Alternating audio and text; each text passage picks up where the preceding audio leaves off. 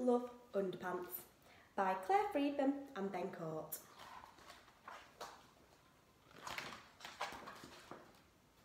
Aliens love underpants of every shape and size, but there are no underpants in space, so here's a big surprise. When aliens fly down to Earth, they don't come to meet you. They simply want your underpants I bet you never knew. Their spaceship's radar bleeps and blinks the moment that it sees a washing line of underpants all flapping in the breeze.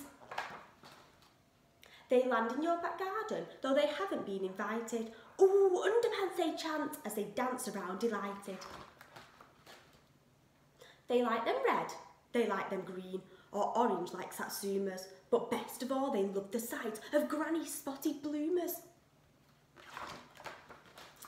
Mum's pink frilly knickers are a perfect place to hide and Grandpa's woolly long johns make a super whizzy slide. In daring competitions held up by just one peg, they count how many aliens can squeeze inside each leg.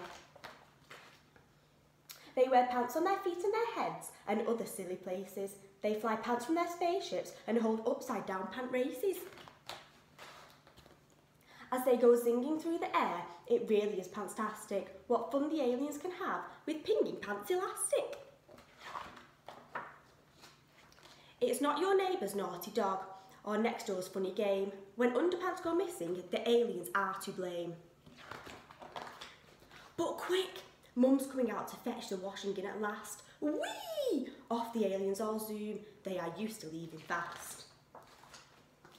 So when you put your pants on, freshly washed and nice and clean, just check in case an alien still lurks inside unseen.